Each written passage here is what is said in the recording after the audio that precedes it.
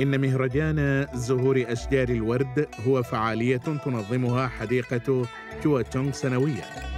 وكلما يحين المهرجان يكون تشاو تشيا مينغ البستاني الشاب الذي أكمل للتو أربع سنوات من العمل هنا مشغولا إلى أقصى درجة.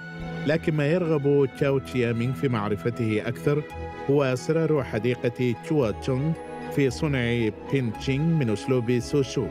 بمعنى آخر هو كيفية نقل النباتات من البرية إلى الأوعية لتصبح منظرا مصغرا.